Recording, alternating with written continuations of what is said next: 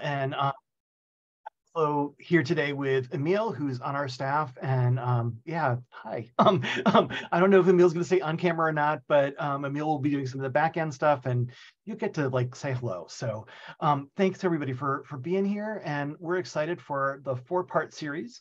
Um, and let me share my screen so that we can get cruising. Is everybody able to see screen? Yes. Yeah, in a second. Great, thanks. Um, there we go. Um, so it's it's funny that Zoom always continues to change things back to what it was beforehand instead of like what you just set it up as. So hi everybody. Um, so today we're going to have like a really kind of uh, 101-ish session, um, and we'll build from today through um, the next uh, three additional sessions. So I'm I'm happy to get us rolling today with some some just core information that we can can work from. So our agenda is really pretty simple. Um, we're going to start with some quick 101 reminders, some statistics about prevalence and what's kind of going on for LGBT folks, really, really basic stuff. We'll then look at social determinants of health and minority stress and microaggressions and adverse childhood experiences. Um, again, really summary overview of those concepts. We'll then move and talk about LGBT specific tactics that can be used within sexual assault um, interactions, um, uh, victimization. And then we'll look at concerns and barriers that both LGBTQ folks have, as well as uh, victim service providers or advocates have. And then we'll end with some things that you can do. So if you've been on a Forge training before, you have seen um, pink-haired person. Um, I recently saw a, a, newer picture of pink-haired person um, who has gotten much more gray, and it's um, I may have to get permission to use another uh, another photo to more accurately represent uh, this person. But do please uh, take care of yourself today. I know that you're encouraged to be here. Um, I heard that it was recorded. So if you need to step away and listen to the recording afterwards, um, please do what you need to do for yourself. Um, like Kelsey said, I am Michael Munson. I'm Forge's executive director. I've been around the block uh, with Forge for uh, 28 years, so I've been around from the beginning. Um, and let me just tell you a little bit about who Forge is so that you've got a, a rough idea of who you're going to be spending time with today and um, over the next few weeks. So Forge is a 28 year old trans anti-violence organization. We are national in our, our spread.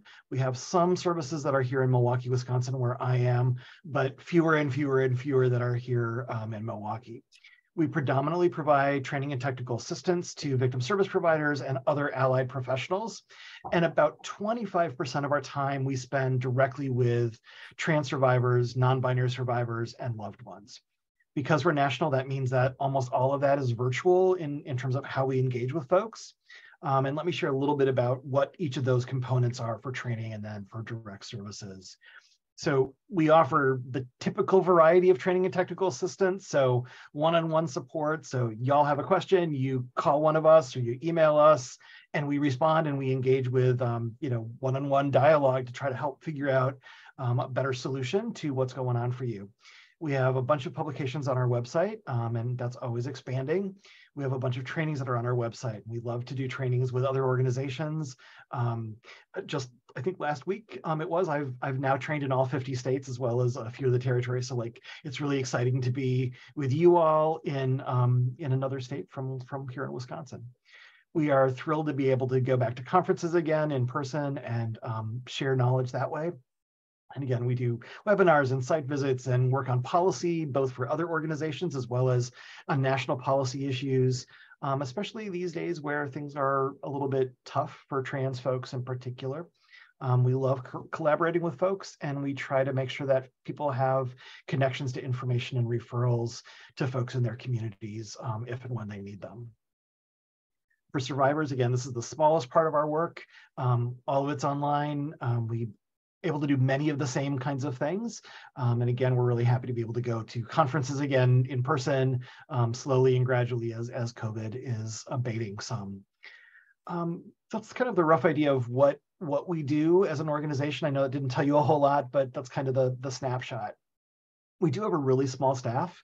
Um, we're growing. Emil is um, new as of March.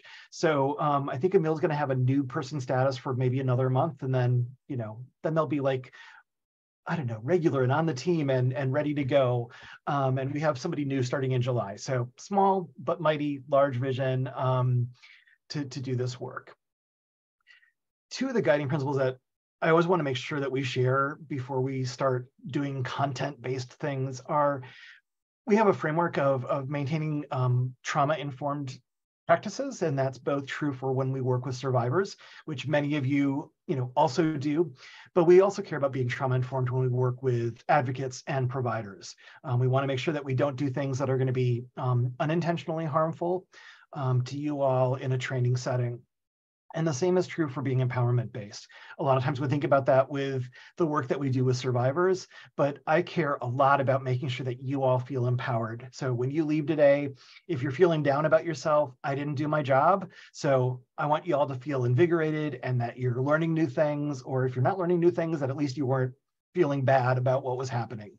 So all of that though is taken into this um, under this lens of being culturally responsive.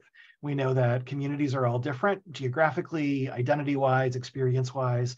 And we want to make sure that we at Forge want to make sure that we are trauma informed and empowerment based in ways that are culturally responsive and culturally appropriate. All right, a few pieces of housekeeping. Um, you've already done your sign in, you've already done the assessment. Um, we are going to interact in three different ways today. So the one way is through Poll Everywhere. And I do see that some folks are, are sharing a space. So you can interact with your phone as well as a computer. So feel free to have those phone or computer ready because we'll use those a couple of times today. The other way we'll interact is through chat. So, um, and you can interact it with chat even when we're doing poll everywhere. So feel free to um, use the chat as we move along today as well. Let us practice the chat. I know that we are all pros at this because of COVID. We were good at Zoom could you all share your um, name and the pronoun that you would like folks to use today in the chat? And for those of you who are in a in a group of three, you can pick which person you want to pick, and um, however you want to participate is cool. So share your name and your pronoun. Thank you. Excellent. See, we are all so good at this. Excellent. Thank you. Perfect. So y'all know how to access the chat. Y'all know how to share your pronouns and your name. Perfect for both of those things. And the third way we're going to interact today is through a shared Google Doc. Um, hopefully this will work. Um, I always worry that things are not going to work, but we will figure it out. And if it doesn't work, it doesn't work, and we'll find another way to explore. So I promised um, in the description that we would have survivor quotes. And um, because of the way the world is right now, um, I opted to include some quotes today that are um, about trans joy or trans hope. So they're not the hard things about the barriers that people are experiencing, but they're the, the things that bring trans folks joy or peace or hope in the world. And Emil's gonna be um, helping out with reading some of these quotes as we, we go today. What gives me hope for the future is that we get to experience glimpses or moments of this future we're all building and working towards together, where all trans folks are safe, cared for, and valued. And that's from Sean Hayes. Great, thank you. And just as a side note, Sean Hayes is up in um, the Minnesota area and is having a weekend of trans joy. It's like a Pride Fest, but it's about trans joy. So um, it's kind of cool um, that they're kind of bringing that theme to life in person. So we'll set the stage with some really quick things. Um, for some of you, this may be like really, really like old news. You, you've done this, you've gone there. So just tune out for a few minutes and um, we'll get to the good stuff in, in a few minutes. So um, there's a handout called the Gender Unicorn. Um, it's a really, really basic and simple handout, which um, I love to use as just a, a, a starter to make sure that we all have similar information in our heads. So I'm just going to quickly go through kind of these four quadrants and the handout is much better and goes into much more detail. But just a reminder for us all that we all have a gender identity and that's what's on the inside. It's what is in our hearts, it's in our minds, it's, it's in our kind of our bodies. It's what we know ourselves to be in terms of gender. And that's really different than what our gender expression is. So our gender expression is what we put out in the world. It's how we dress in the morning, how we comb our hair, if we use jewelry or not, all of those things that give a gendered presentation or a non-gendered presentation um, to the world. And again, we all have a gender presentation, whether we're conscious of it or not, whether we pay attention to what we're doing or not out in the world. Those two things are on the left side of the screen. On the right side of the screen is our sexual or romantic um, orientation or attraction. So it's it's literally who we are you know who we love who we care for um, who turns our head um, it's who we're attracted to and so those things are really different than our gender identity or gender expression Fourth box is sex assigned at birth. So, um, you know, I always try to not be too graphic here, but, you know, in our culture, the way we do sex assigned at birth is we look between the baby's legs and go, it's a boy or it's a girl. So we oftentimes don't chromosome test. We don't do anything else other than make a visual assessment of if it's a boy or a girl. And a lot of times that's not right. Um, it's not a boy, it's not a girl. Um, it may not be one of those two options.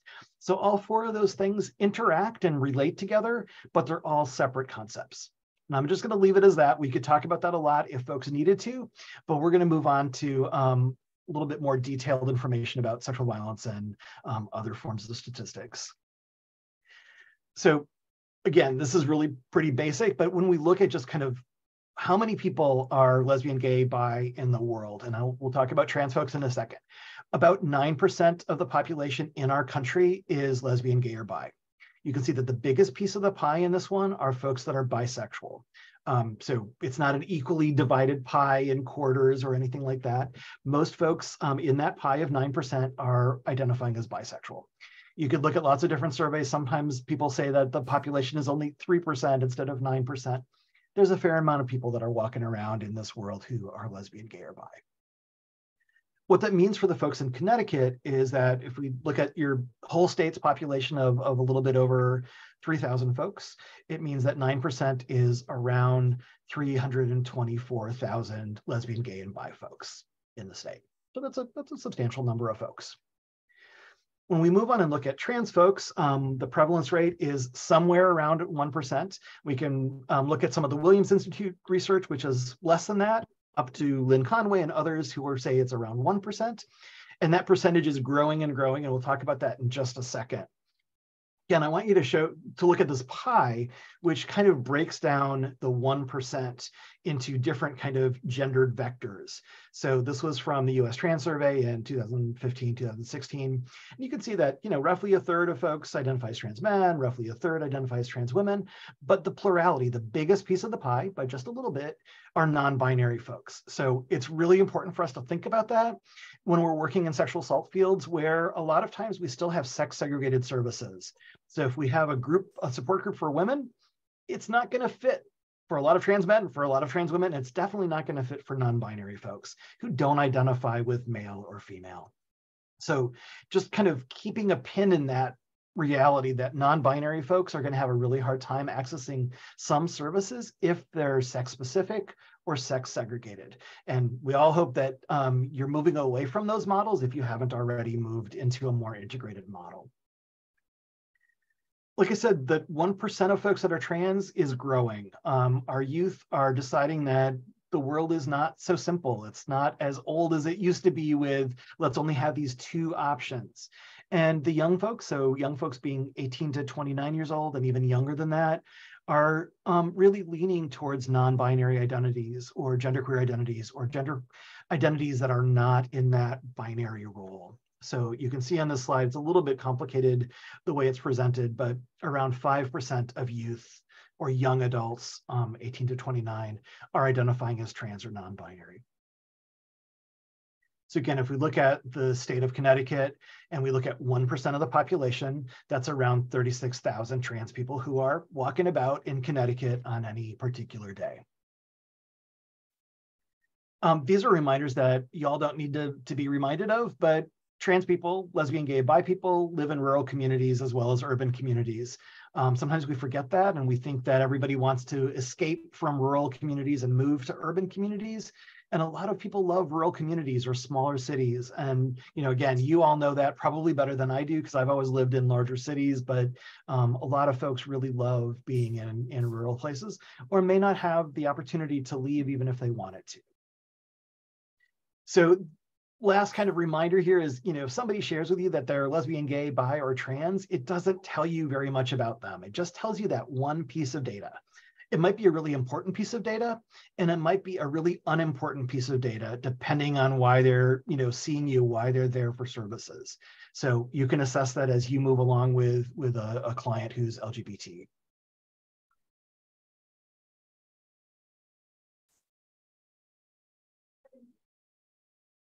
trans joy means being connected to my childhood spirit Thanks, Emil. This is from Ryan Sallans, who um, I encourage you to, um, if you like to read, to check out a couple of his books, which are just incredibly beautifully written and um, share a lot about him as well as the world at large. Um, really good author. So let's look at the rates of violence um, within LGBTQ communities. This chart is um, a little complicated, a little bit busy, but it's a combination of, of data from the NISVS survey, which was done by the, the Centers for Disease Control and Prevention. And they only broke things down by sexual orientation in terms of our population here. They didn't look at gender identity.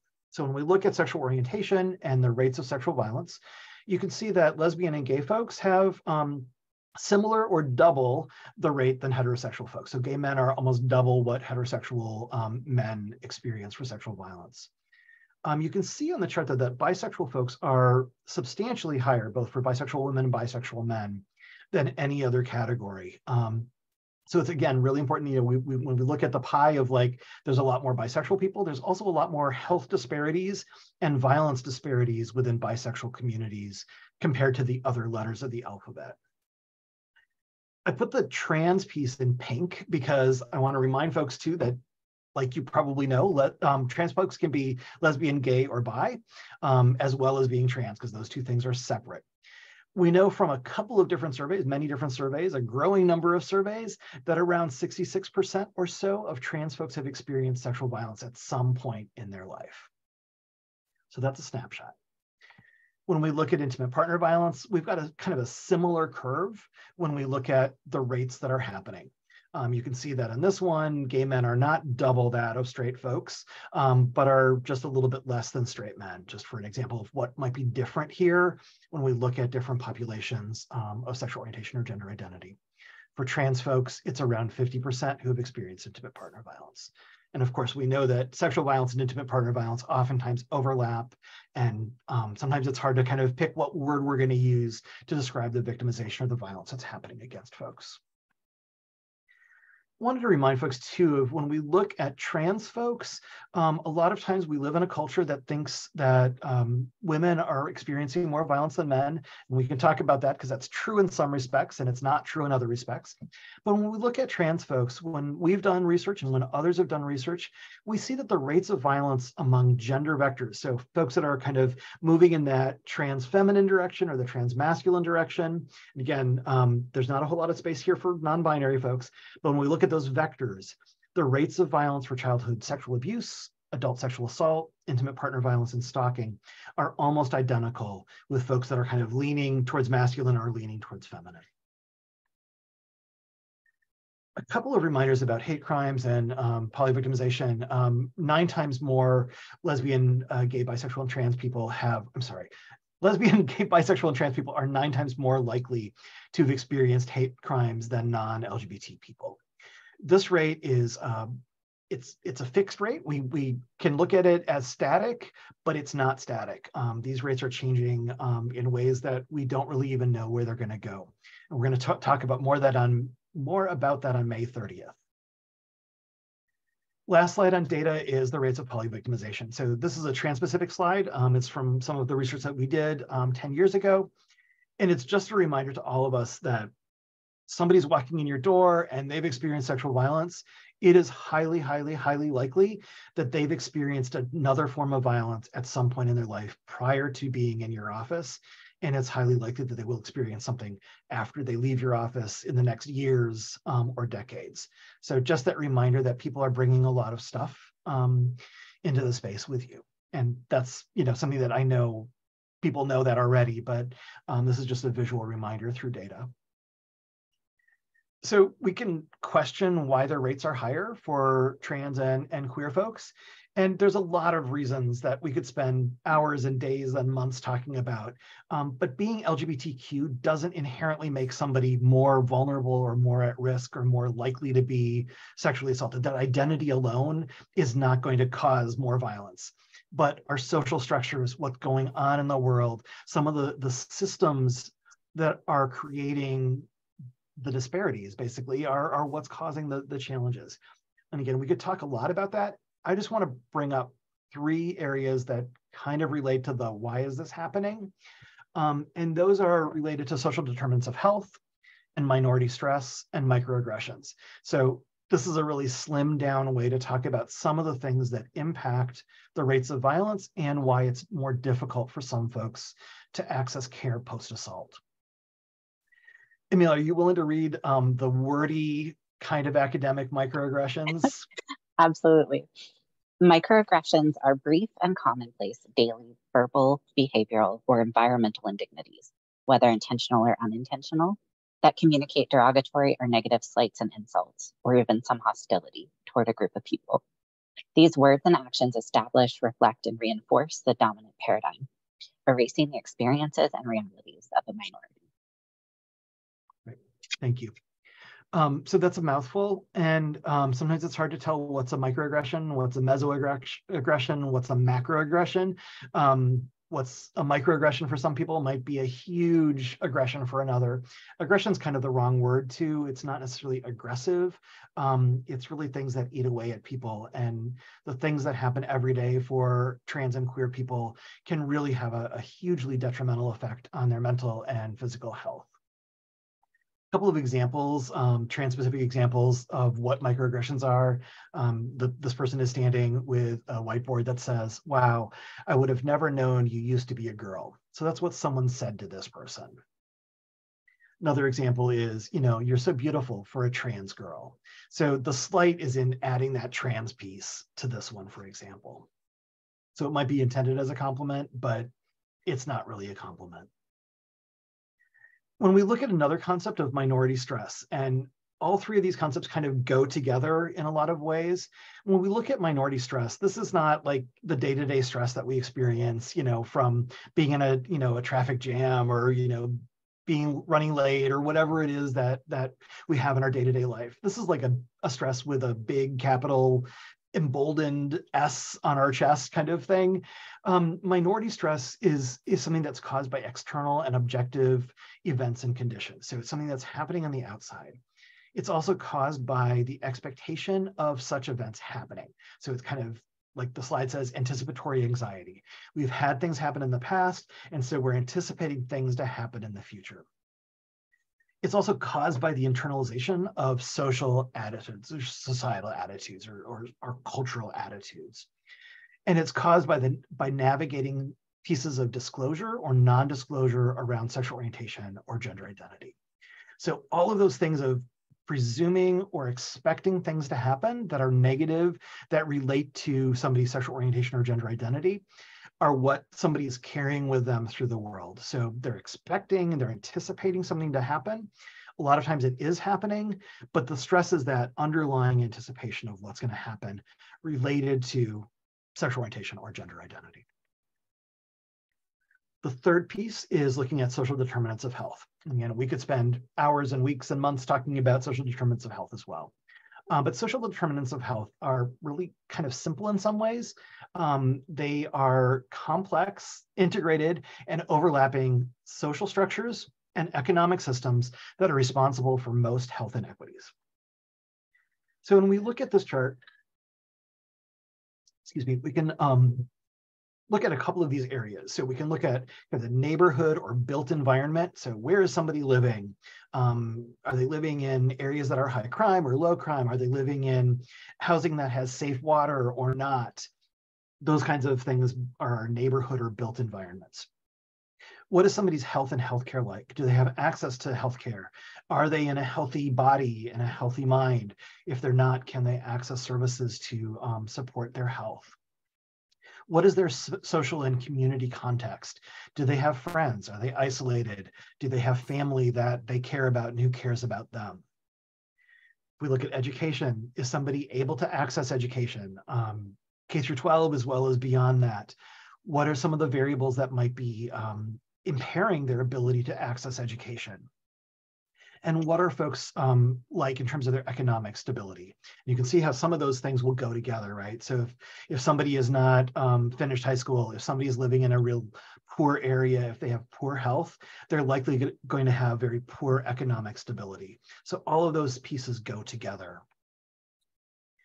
And so you might say like why are we talking about these things that don't feel like they're related um, they're definitely related to the work that we all do with sexual violence um, a lot of folks that are experiencing some of these things, and just about all queer and trans folks are, um, may not seek uh, care for the or services for what has happened to them because of some of those negative past experiences, because of the situations that they're in. They may have to go to work rather than seeking care, for example, because otherwise they won't have enough money for food there might be distrust of providers or systems, again, because of those systems that are not really set up for trans and queer people to access. And those systems are often um, set up to not believe um, people. And so trans and queer people oftentimes end up believing that they're not worthy of being treated with respect or care. So let's talk a little bit about ACEs. So ACEs are adverse childhood experiences. And we could talk again for hours or months about this. So adverse childhood experiences are basically this connection between victimization and negative health outcomes. It's a really simple one-to-one relationship. Um, you'll see really clearly that the more victimization somebody has, the more negative their health outcomes are across their lifespan. So the CDC looked at these kind of 10 areas of, of dysfunction or abuse. So they looked at physical abuse, emotional abuse, sexual abuse. They looked at neglect in terms of physical neglect or emotional neglect. They looked at what was going on in people's households. So was there mental illness in the household? Was somebody in jail or detention at like a parent or a grandparent? Uh, was the mother or anybody else in their house uh, treated violently? Um, were people witnessing violence? Was there substance use or abuse going on in that family? And was there divorce or separation? So those are the factors that they kind of looked at. And they saw that those things, the more of those things people had, the more negative health impacts they had.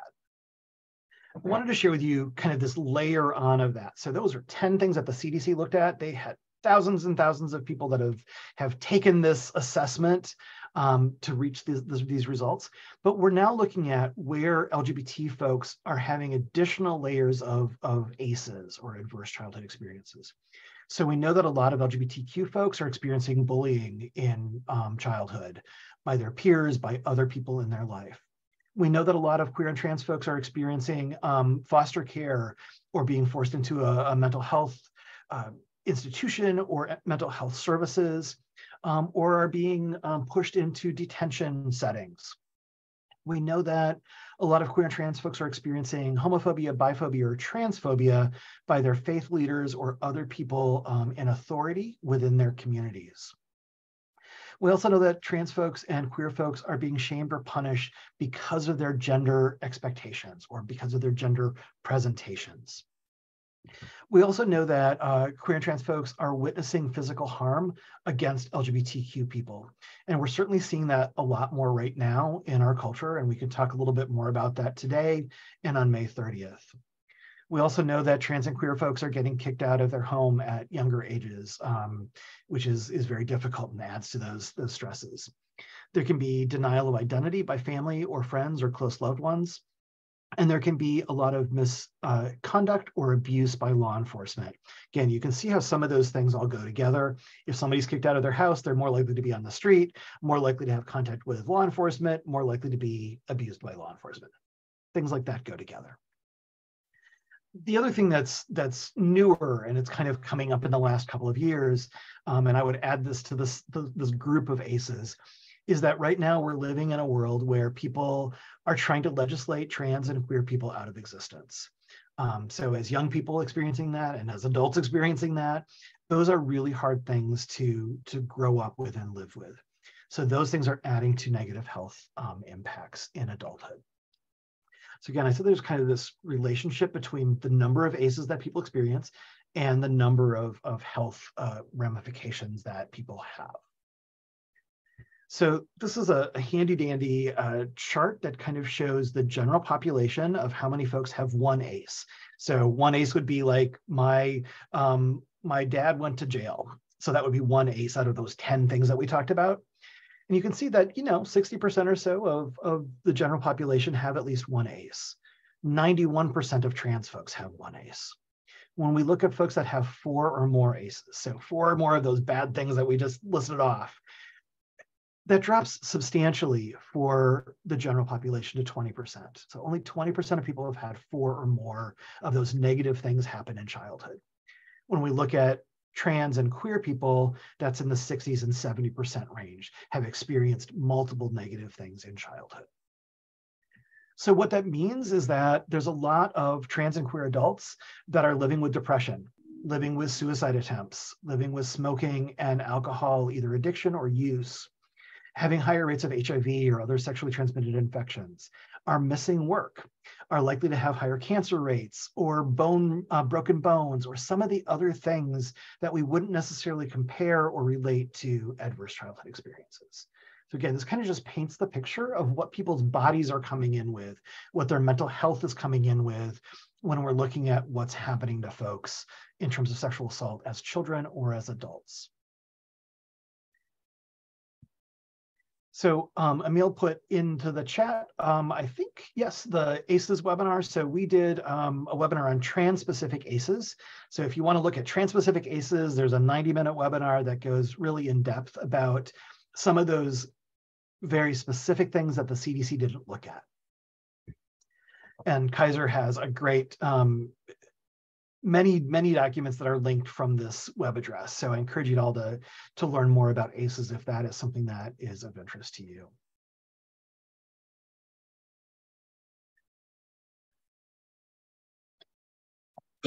Trans joy is silence. Trans joy is not being seen.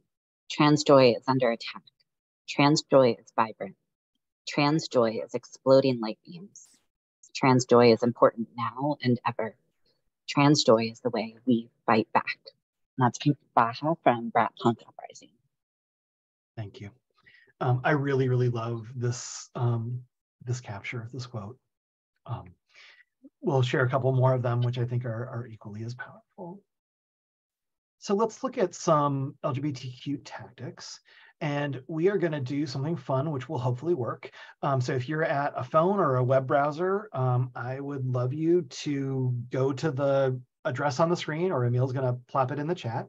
And so we're all going to go, and you can basically, it's a, a chart that you can grab boxes and write in what you think some LGBTQ tactics are that may, may relate to LGBTQ folks and sexual violence or sexual assault. Um, Emil, do you want to share your screen so that we can um, kind of watch that happening, um, which means that yep. I need to unshare mine.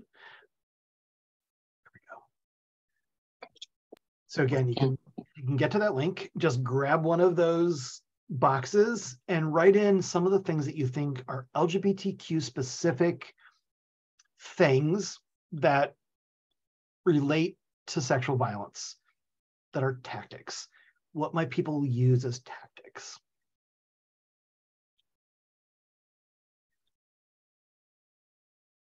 And to get folks started, let me just pose an idea of like somebody might threaten to out somebody. Excellent. And that's what somebody was writing too. Excellent.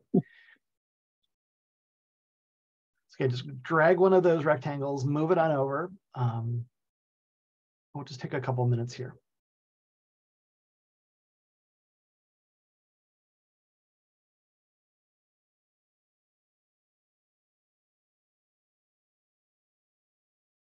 Again, think of some of the tactics that uh, an abuser, a perpetrator, pick the language that you like to use, want to use. Um, what would an offender or perpetrator do that is specific to LGBT folks um, related to sexual assault?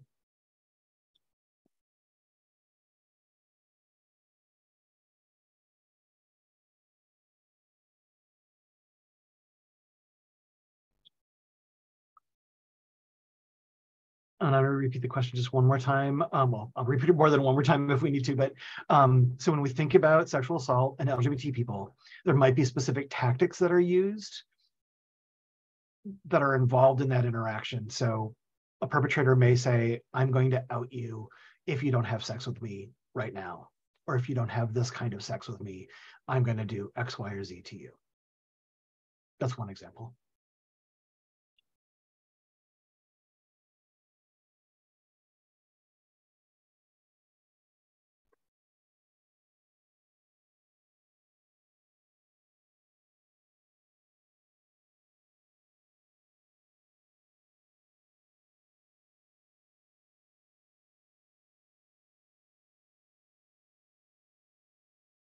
Why don't we take about another minute to think about what kind of tactics might be used against or towards an LGBT person related to sexual assault.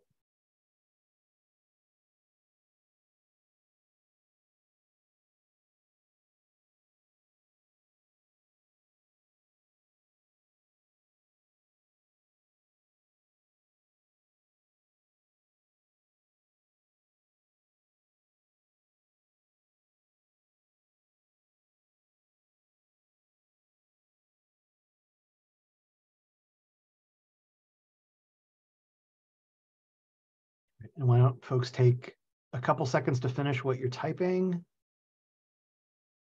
And then let's just take a quick, quick view of what people have added here.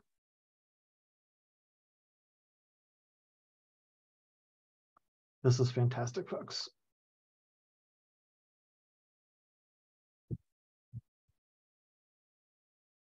Emil, since you have the, the biggest screen, are you willing to just go and read through the the circle of of what yeah. folks have written? And does that show up a bit better for folks? Um, oh, that's great. Great. So we have not being out in specific environments and using that as a means of control, hypersexualizing them based on their identity, fetishizing them, antagonize them based on their sexuality, gender identity, telling them to keep silent because they will make the community look bad, using someone's sexual history to justify harming them, um, suggests their identity can be corrected by sex, corrected in quotation marks. Um, because of current legislation threatening to have them arrested, kids taken away because of their identity, um, encouraging, oh, I made it so I can't see what's underneath that one um, encouraging a survivor not to disclose assault as it would, quote, look bad for the community, threats to out, dismiss them, minimizing could take away their hormones as a way of coercion, questions validity of identity to coerce them, feels dependent on abuser due to no support, isolating to rural areas so they cannot seek services, knowing the individual may not have other support, isolating the survivor, victim blaming based on assumptions of promiscuity, again, isolating um, someone from their community, shaming or questioning their identity, and purposefully misgendering someone or using as a form of control.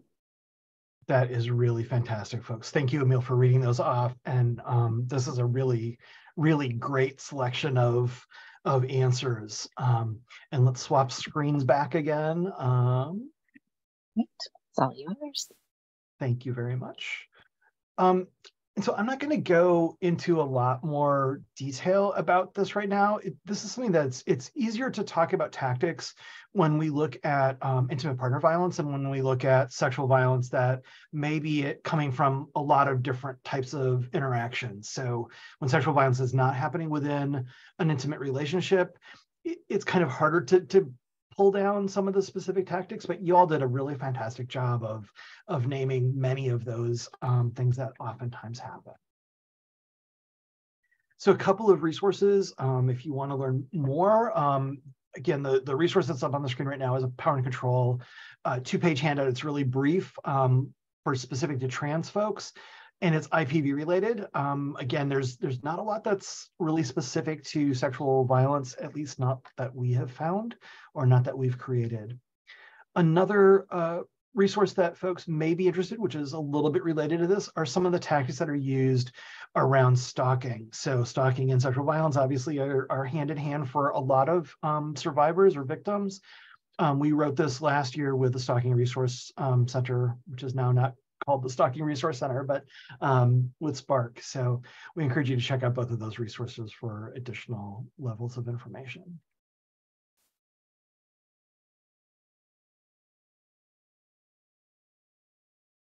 Sorry, sharing links and I didn't see the screen. Sorry, I was just sitting here quietly. It's nice to have a quiet moment. But Dandelion says, trans joy is a participation in the divine act of creation, an alchemy of the self, the great unfolding. Trans joy is defiant, invincible, soft, and bleeding. Trans joy is the spiritual connective tissue between me and all my siblings across the world and its centuries. Every breath I breathe in euphoria, I know I do not breathe alone.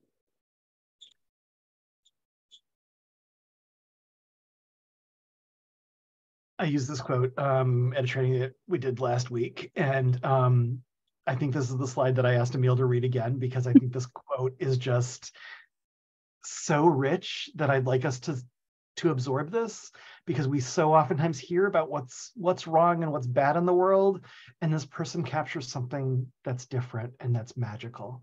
Would you be willing to read it again please? Absolutely.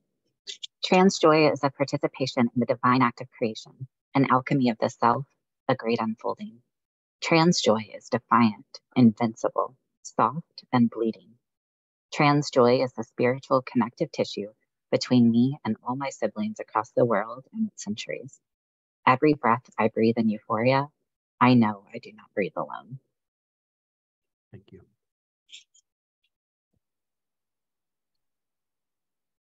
So if you haven't stretched or breathed um, or allowed yourself to just settle into um, the heaviness of what we're doing and that beautiful quote, um, we're going to talk about more tough stuff.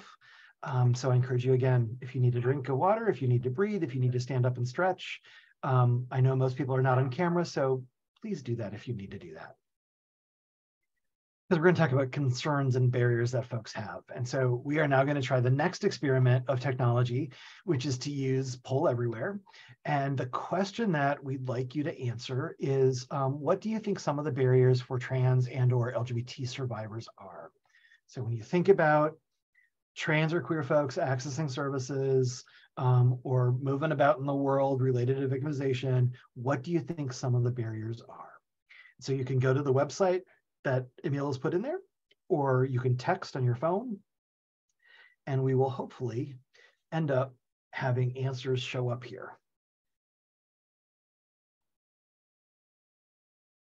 And we can sit in relative quiet until we um, are able to let this come on in. So again, think about what do you think some of the barriers are for trans and queer survivors?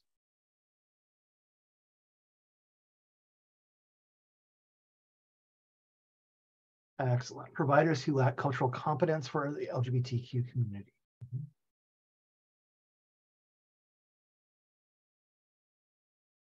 Encountering bigoted service providers. Yeah healthcare and legal systems are not built to accommodate the needs of queer and trans people. Mm-hmm.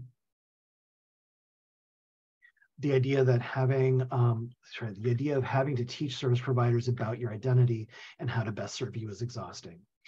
Not knowing um, where they will be safe, stigma, not being listened to, being judged, blaming selves or being blamed by others because they should have wanted uh, to have sex with that person because of heteronormativity. Yeah. Prejudice from folks who have um, implicit biases. Yeah. Lack of acceptance, discrimination, and ignorance about LGBTQ issues. Right on. Not feeling relatable.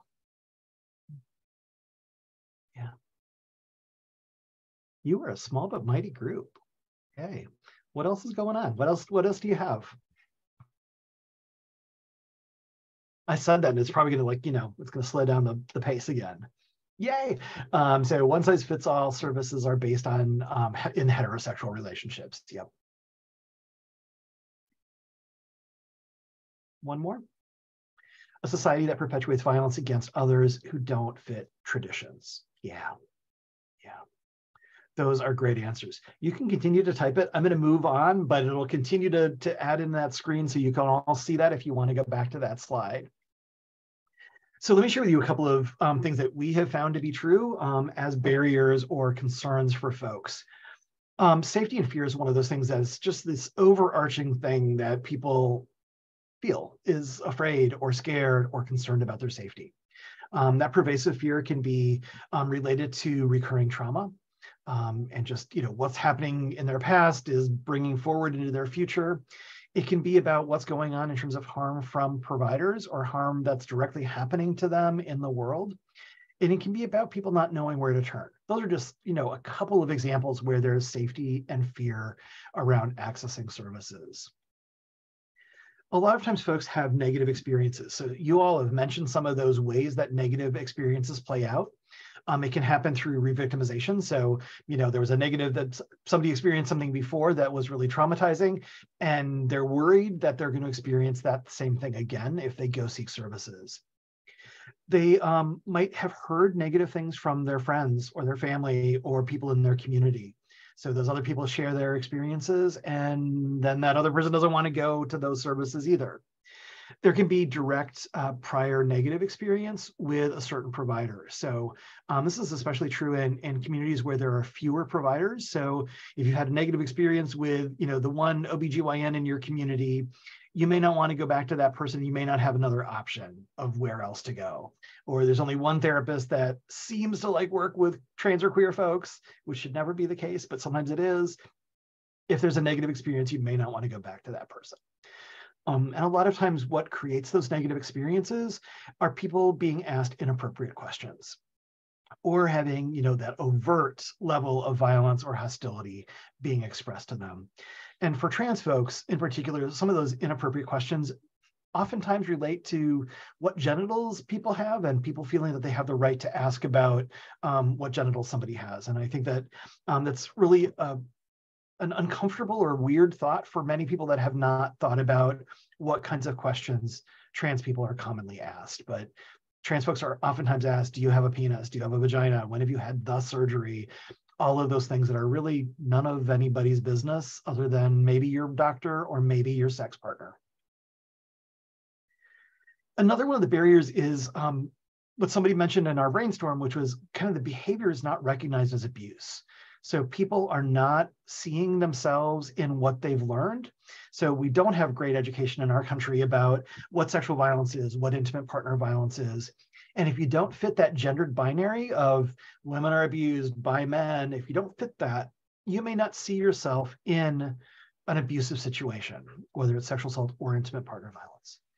And what's happening now in schools is that we're not having a lot of opportunity for kids to see themselves in that educational material. So, you know, schools that are, are taking out um, gay storylines or lesbian storylines in really simple ways of talking about healthy relationships those kids are not going to see themselves in the healthy relationships that are shared and shown. There can also be cultural myths about who can be assaulted. So again, you know, going to the fact that a lot of times our culture says men can't be assaulted or abused, um, or trans people are all assaulted or abused. There could be lots of cultural myths that perpetuate um, beliefs that are just not true there can be issues around unwanted disclosure that can be a barrier or concern for trans folks as well as for providers. So people who are seeking care, for example, if they go to an emergency room post-assault, may be immediately outed as, as trans or LGBTQ because if they have to show ID and that ID doesn't match um, what somebody perceives them to be, or if somebody is coming with their partner who is the same sex or the same gender, people may be automatically outed and that may be a situation that they don't want to be in or that they're worried will have negative consequences on the care that they receive. Um, people may have challenges or concerns about reporting to the police, and there's a lot of things that we can talk about with law enforcement, but the concerns around, around disclosure may be particularly important in decision making around reporting to police. And just a reminder to all of us that not everybody discloses their gender identity or their sexual orientation, and that is 100% okay. When we look at trans people in particular around disclosure, there can be slightly different ramifications around being outed by others or having to come out as trans. Um, and some of those things may be around um, access to children, um, losing access to um, housing or property if that's um, in somebody's realm. Um, it can be, you know, some of those relationship dynamics can be affected when disclosure happens non-consensually. disclosure for trans people can also be more of a, a, lack of choice. Sorry, that was a that was redundant. Trans people may experience a, a, lack of choice in coming out if they seek forensic exams. So if they disrobe, their bodies may tell their trans story for them, um, depending on wh what their body looks like and what our gender beliefs are about bodies. Um, there can be some legal uh, implications around um, people being outed if they're trans, and again, some some safety concerns. So um, it's true in small cities. If somebody is um, not out as trans prior to this and they disclose, that could cause some some neighborhood ripples that may be really uncomfortable um, in their world. So we've kind of talked about this a little bit already. Like you know, if you go into the the ER and you present your ID, and it's seen as incongruent and incongruent is definitely in big quotes because it's it's this mismatch between what someone's gender identity is and what is seen on paperwork which may be different than what another person thinks or believes that person's gender identity or their gender is. So it could be that if you know if i walk in someplace and i show um, my health insurance card and it says f on it um, that person behind the counter may look at me and go this isn't really you are you deceiving me? Are you somebody else? Do you have somebody else's insurance card? When it's me, but I'm showing my my ID and it doesn't match what that person thinks it's supposed to.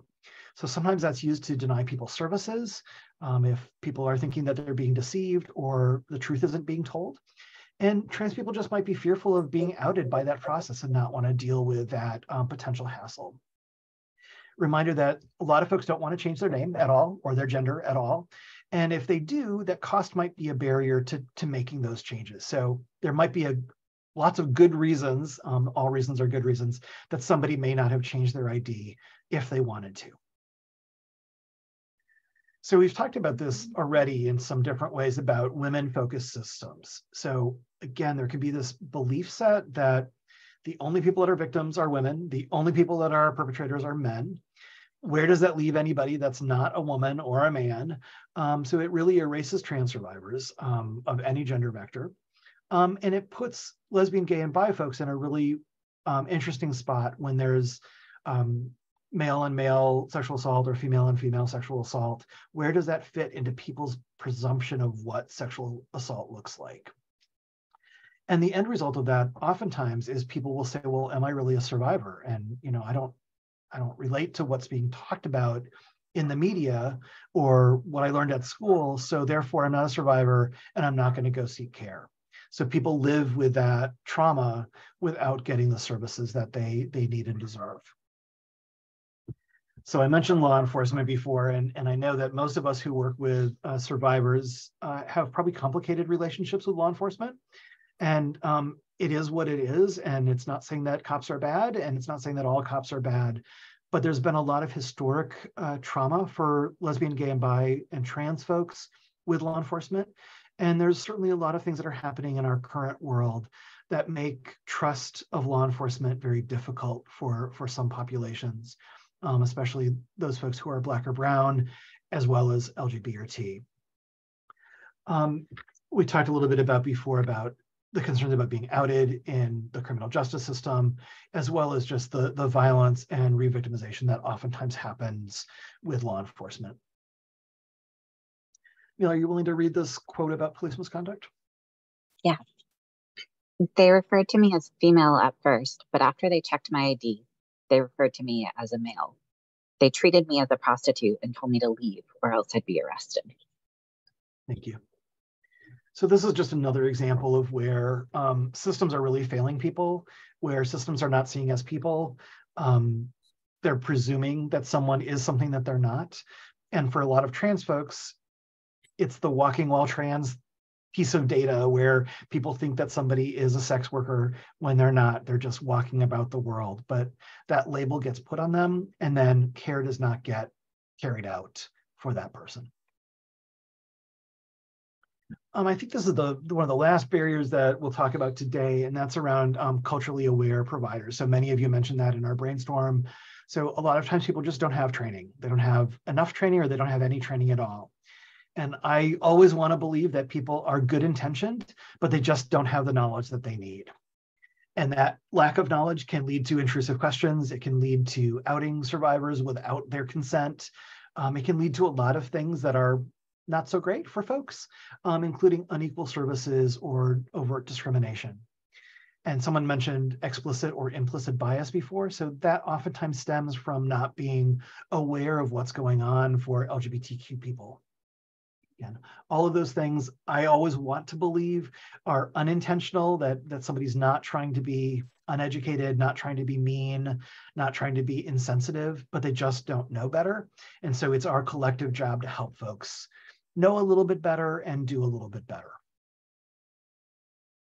So a couple of uh, resources. One is a self-assessment tool that um, we created a few years ago and it's been updated. So if folks want to think about, well, what is your agency's level of cultural awareness and you know how are we doing around queer and trans folks i encourage you to have like everybody in your office take the assessment compare your answers look at what's the same what's different why it's different why it's the same where you may want to make some changes or where you're doing really well.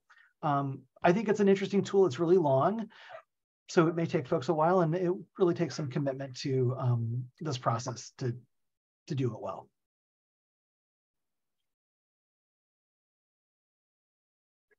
Chris says, to me, trans joy means embracing every iteration of myself and telling the world who I am rather than letting the world tell me. Thanks. And I'm sorry if folks are hearing my dog who's decided to go kind of batshit crazy. So um, I'm sorry if you are hearing the barking. Let's look at just a couple of things that are rural specific. Um, and again, those of you who are in rural communities or in a state that has a lot of rural areas are going to know this better than, than I do. But just some reminders that LGBTQ communities in general, big in big cities or in smaller cities, are very tight knit. And so it sometimes is even more tight knit, if you will, in smaller communities um, where everybody knows everybody. Um, a lot of times people are concerned about not causing waves, not um, tarnishing people's reputations as a community. So people may not disclose their survivorship or their, their victimization because they don't want queer and trans people to look bad, big, big quotes again. And they may be concerned that people um, will think bad things about them if they come out as queer or trans. So like either the victimization piece or the trans or queer piece may be concerns for if they come out or disclose that information. We know that in smaller communities, the support services may be a little bit different. There might be fewer places to seek support. Um, some of those places may have multiple things going on in that, that agency. So they may not just look at sexual assault, but they may have multiple other forms of, of services offered at that location. So it may not be as specific or as knowledge based in that specific area that a survivor might need. There might be concerns about confidentiality. And again, this is a, an assuming good intentions here, but confidentiality can be really hard and tricky, and people may be concerned about um, disclosing that they're trans or queer or disclosing their survivorship when they're living in a community where they see somebody at the grocery store and they may not want people to know that piece of information about them. And again, you know, the, the aspect of the, the dual roles of, you know, who are people in community with, um, how do they interact in those small communities? And what do we do when everybody knows everybody's business? And do we trust that the confidentiality will stay where it's supposed to? And just a reminder too about, about isolation. Um, in smaller communities, it might be easier for a perpetrator, um, especially with an intimate partner violence um, situation, to keep folks away from other people. Um, there's less of an opportunity for folks to get social interaction um, if they're in a smaller community or if they're in a community where everybody knows where they're possibly going throughout the world. Um, so those are just a couple of things to, to keep in mind around isolation let's talk a little bit about the socio-political culture. We're just going to talk a little bit about it. Um, we could look at things like these triple threats that are going on right now, and we can look at the anti-trans or the anti-queer. Most of the things that are going on right now are anti-trans, um, a little bit less about anti-LGBT. look at reproductive rights, which affects all of this, and gun violence, which affects all of this. All of these things go together, and they're all really, really um, prevalent right now in our, our current discourse. So I know some of you might be thinking, why should we be talking about like all the stuff that's going on in culture? How does it relate to sexual violence? Why should this matter? Not to Harbor House, but to you all. Um, and so I just want to remind folks that these issues are really, really, really intersectional. Um, these inter they intersect with sexual violence, they intersect with intimate partner violence, they all go together. Um, there can be threats that limit access to people's healthcare um, if they need healthcare, um, post-assault, 10 years post-assault, pre-assault, anytime. Um, there can be overt threats to people's um, personal safety or to their systemic safety. So in their neighborhoods, to their personal body, to their family's body, to their providers' um, health and well-being. And right now we're seeing a lot of people who are very emboldened to act violently. We're seeing people, you know, the wave of people get really excited by other people who are acting badly and other people are kind of going along for that ride and acting um, very poorly and violently as well. So just a, this is kind of the teaser of what's gonna come later um, in a couple weeks but just a reminder of kind of what state sanctioned hate is or what state sanctioned violence is. Um, we're describing it as behaviors, hate-driven behaviors, bias, or crimes that are perpetuated by legislation, political or cultural movements, law enforcement, or media. We're looking at state-sanctioned hate that is systemic and institu institutionalized harm based on a foundation of hate intended to erase or degrade a group of people with a shared identity or experience. So again, that's the teaser. We're going to talk a lot, lot, lot more about that in a couple of weeks. But I want to just do a quick kind of poll here about where you have seen this kind of stuff in your community. So the stuff is political things, um, bans, sports things that are, are happening in your community. So again, we'll look at this through poll everywhere, computer access or phone access. And you should be able to just click on the little icon with a little word next to it um, and be able to say what's happening in your community. See, are you seeing things on social media? Is there a bathroom ban? Is there a sports issue around can trans girls play sports?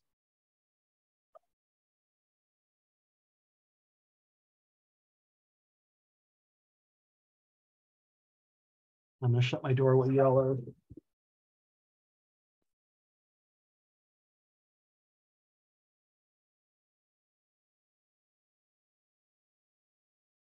So think about your community, and your community can be your whole state, could be the, the city that you live in.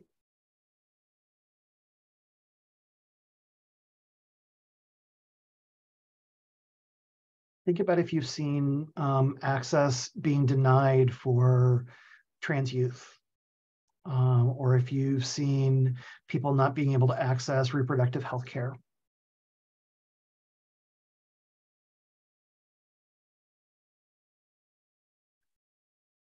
Have you seen any political ads that mention trans or queer people in them?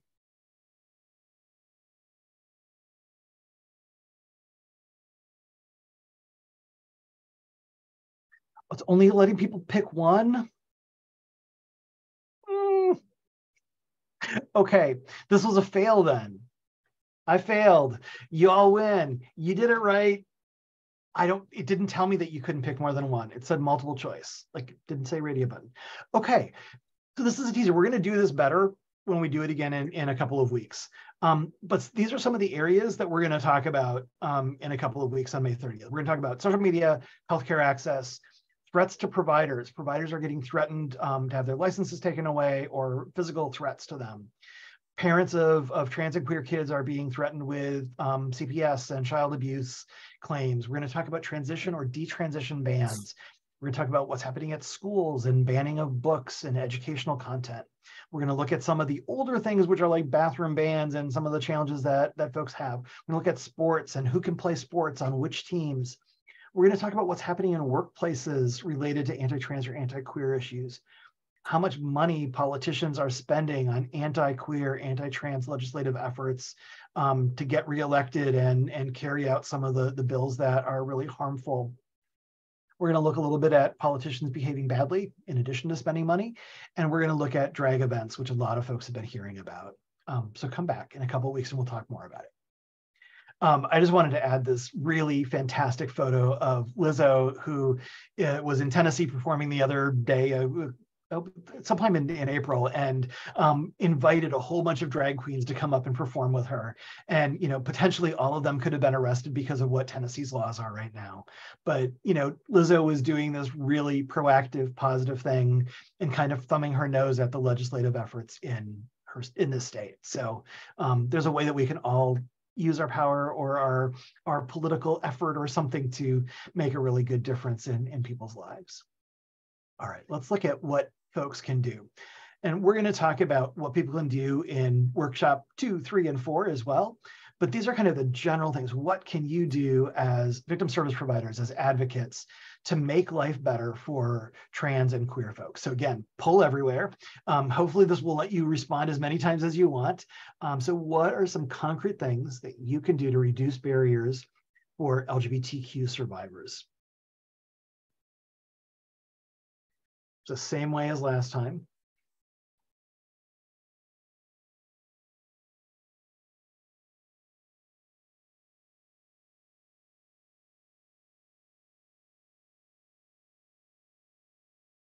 So what are some concrete things that you can do to reduce barriers for trans folks, for queer folks? Partner meaningfully with your local LGBTQ org. Yes. Become informed about issues. Yes spread awareness, hmm?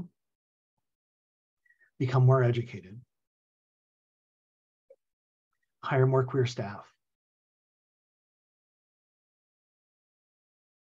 be open-minded.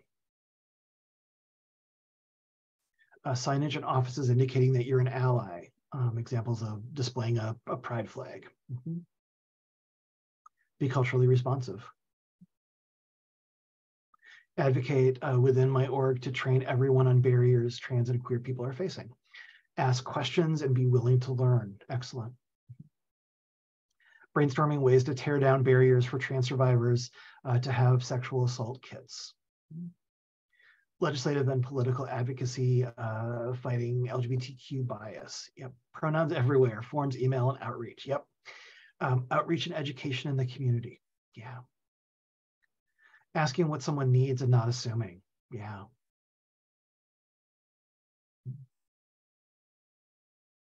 What else? This is a fantastic list.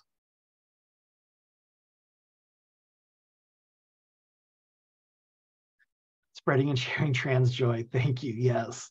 Let's. I'm going to move on from that one. That was a that was a great one to for us to kind of it off to. If you want to keep on adding more, add more. Um, I can share out the answers that you all shared um, after this this time today. So, first reminder is that you know how to do your job. Um, hopefully, you know how to do your job. Um, so do what you already know how to do. Um, if you stay focused on the skills that you already have, you're just applying it to different populations, different people obviously more knowledge is really good, but do your job the way you know how to do your job and stay focused. Um, someone said pronouns everywhere, right? Pronouns everywhere. We want to um, share a pronoun. So what we did at the very beginning, we want to, you know, say, hey, my name is Michael. I use here them, you know, they pronouns, and we can state that, uh, you know, right up in front. So when we are introduced back when that's bad language i'm sorry when somebody says you know what their name and pronouns are we've already invited them to do so so we can share, we can ask, and then we can consistently use their pronouns. And again, having things on intake forms is great. Having name badges with pronouns is great. Anywhere and everywhere that can be is fantastic. Um, I want to share this is this is totally not related to sexual assault, but this is a great video that just kind of reminds us of like what the importance is of using people's name and pronouns.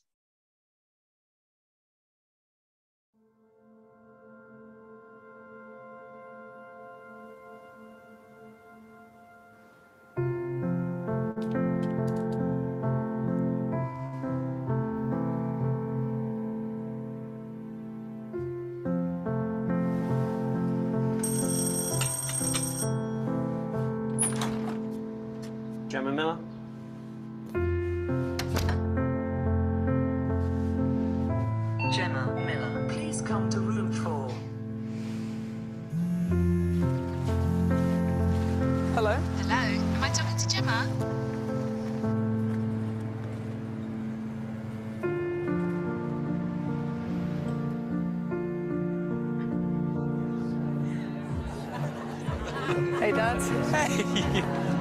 Carol, you remember my Gemma? Gemma. How you doing?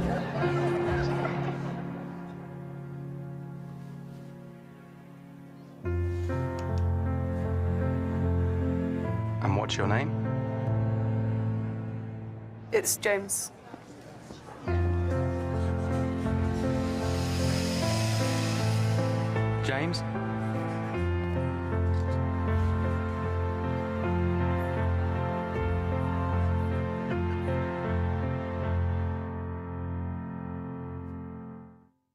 So not a Starbucks promotion, but sweet and nice. And the smile at the end is really like it captures how important that is. Um, and it's really amazing how many companies are are paying attention to our current world and doing things that are really positive and affirming. So um, keep an eye out for those those wonderful ads like that. So another thing that we can do is um, kind of like knowing how to do your job and doing your job is to really stay focused on the person that's in front of you or the issue that's going on. So we want to stay person and issue centered, um, not identity centered, not um, something that we have in our head or an assumption that we have. Um, for folks that um, are able to, we want to think about what the non-discrimination provisions are within VAWA. Um, almost all sexual assault agencies are funded in some way through VAWA stream, so Department of Justice, um, or through FVPSA under HHS. So kind of knowing what those rules and requirements are, we'll talk more about that in workshops two and three, um, are really important to making sure that people have equal access to services in our world right now, it's really important if we can report hate speech. So if you see hate speech on social media, whether it's on your your workplace or your personal, not telling you what to do in your personal life, um, but it's really important to you know to say to folks, hey, this is not okay. Um, what was just posted here, or to report people as a violation of terms of service. And it's always really good to post positive things um, to kind of change that balance of what's getting posted on social media we can always um, use our social media to do things like put positive affirming messages out that say we serve trans and queer survivors. We know that trans and queer survivors um, deserve to be served. We know that trans and queer survivors are fill in the blank. Um, there's a lot of things that you can copy and borrow and share and forward from other organizations. So this is from NNEDV, so like, you know, big national organization. So you can find stuff all the time. And I encourage folks to just put things out there in your regular social media feed, whether it's once a month or once a week, that just reminds folks that you are an okay agency for people who are trans and queer to come to. Um, and I know people sometimes say that I, I'm soft about these things, but our body language is really, really important when we're working with trans and queer folks. Body language is important working with any survivor or, or interacting with anybody, but are we able to lean in, physically lean in to people, um, not, in a, not in an encroaching way on people's space, but are we able to have an open body language where our legs and our arms are not crossed, where we're willing to um, reach out and fist bump somebody if that's a form of touch that feels good to them. A lot of times trans and queer people are, are really not touched enough, not looked at enough by eye to eye, and not treated well in terms of like how people are interacting with them through our bodily um, engagement. And that goes true for listening as well. So sometimes listening might be listening more or longer for some trans and queer folks who may not be able to trust as quickly or as easily as other folks. Sometimes we need to listen to stories that we might feel are unrelated to the services that they're there for. Sometimes we may need to listen over and over and over again until someone feels enough trust in us to be able to share what they need to share or more of what they need to share. Um, another way that we can um, make a difference is to show up and um, hopefully organizations, and we're seeing more and more organizations um, allowing their staff to have time off to go to protests or rallies if that's that's their jam, or to write letters to legislators, or to show up in other ways that support queer and trans folks. So I encourage people to show up in whatever way you can as an organization um, or as individuals if that so moves you. So it can be your body, it can be speaking up, it can be writing, it can be any way that you can um, elevate and, and be aware of the issues and share that with other people someone mentioned in one of our brainstorms about um, continuing to learn and um, we certainly continue encourage people to continue to learn with whatever it is that you need to learn more about um, I know that, you know, I always need to learn more about some really esoteric things or some really basic things. Like I don't know very much about immigration and I really need to know more. So that might be my thing to continue learning on. And for you, it might be about bisexual people and why do bisexual folks have higher rates of victimization? So whatever it is, um, we encourage you to keep on learning. And you'll have three other opportunities to learn in this series, for example, and um, many other resources that you can get connected to. And I wanted to share this this last kind of what you can do, which is not really what you can do, but um, I can't remember when we posted this, but it was right after something really horrible happened in the world, and we posted this on social media. Now it feels like something horrible is happening in the world all the time, um, but we reminded folks to to love on your people, and maybe even more importantly, to love on the people who aren't yet your people. So again, I know that love is a, a touchy word for some folks, but you know, think about how you can share that love or that kindness or that care with people. And it may not be about what you're doing for providing services. It might not be about the nuts and bolts, but it might be about how you can connect heart to heart with somebody and how you can literally see someone for their humanity. So those are a few really broad things about what you can do to reduce barriers and how to improve services for queer and trans folks. You can connect with us in a couple of ways, and I know we only have four minutes left, but um, our website has lots of resources that you can check out if you want to, and our social media where we post daily, if not multiple times a day. And um, there's lots of fun, interesting things. So we, we like to be friends with folks and um, we will try to friend you back or like you back um, if you want to connect with us so you all probably already know this, but the next three events are um, one every week. So next week is Getting Real, Building Practical Skills and Solutions from LGBTQ Case Scenarios. So we'll have a couple of examples that we can really dive deeply into. The week of the 24th is Supporting Trans and LGBTQ Survivors Through Forensic and Medical Exams. And then the last one is what I've mentioned a couple times today, which is looking at identity-based hate violence and how legislative and cultural hate-fueled violence intersects with sexual assault. So I know we don't have a whole lot of time, and I know that I've talked really fast today, um, and probably not always clearly as, as I could or should. Um, this is my dog who's barking. Um, so this is Garland, and Garland wants to know if you have questions or comments, um, and we can we can take as long as as folks need today.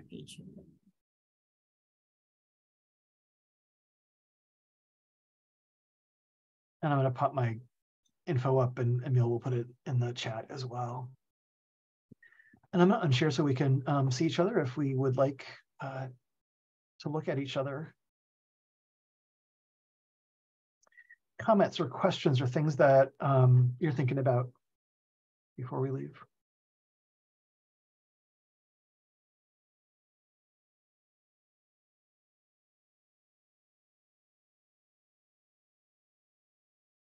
I'm seeing quiet. I'm hearing quiet. Um, you know, one thing, thank you, Michael, for for everything that you shared over the last hour and a half. Um, one thing that just stuck stuck out to me because I don't think I've actually heard it said in a training specifically about working with queer folks. Um, your point about body language and about like literally what am i doing with my body? What am i doing with my face? Like that's the thing we talk about in terms of advocacy and counseling and working with like all survivors but it does need to be said specifically when we have a queer person in front of us right? That um pe- anybody we can all sense when somebody is not comfortable being in front of us right? And so um, i just appreciate that you said that and highlighted that specifically for this community Right. Thank you.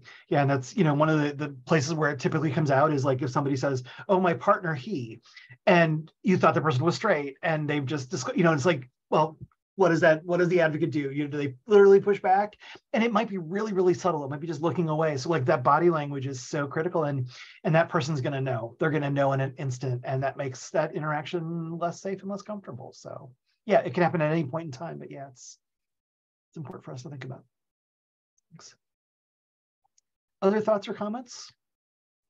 I also just wanted to say thank you so much for incorporating the quotes of trans joy throughout the presentation. Like it really was just like a nice, I don't know, it, it brought a smile to my face reading the quotes. Um, so I really appreciated that. And it also just made me think about, again, how can we incorporate more like stories or personal stories within the work that we do?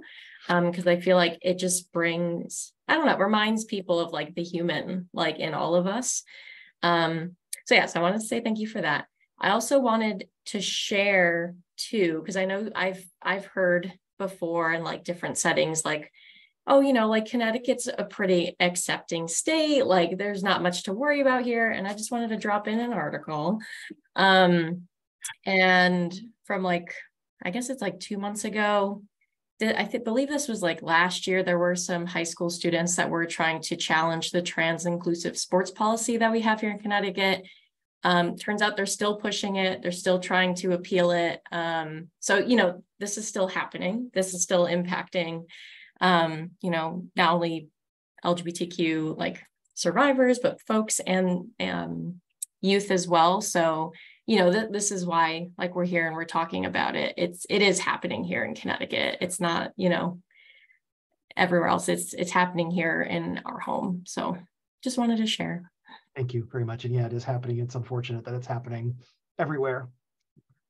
And I know we're one minute after. Thank you um, all for being here and, and thank you, Kelsey and Amanda and, and Bridget, who's somewhere. Um, and Emil, thank you for um, being last minute draw into this. So, um, and I really appreciate everybody being here, and I'm hoping to see everybody in next week, and the week after, and the week after. Cool. Have a good day, everybody. Thank you. Thanks, everyone. Um, I will just gentle reminder if you did your your assessment at the beginning, but maybe didn't like finish it or click submit, just go check back on that and make sure that you sent it in if you did it so that we can have everybody's responses I'll send out a follow up email with all of the many wonderful links that Emil was putting in the chat today. Um, and I, am, Amanda, am I forgetting anything?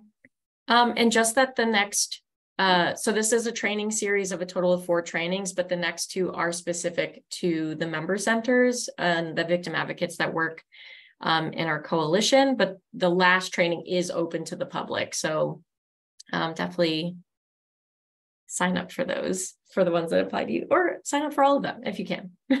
we'll be here. So thanks everyone. Thank you.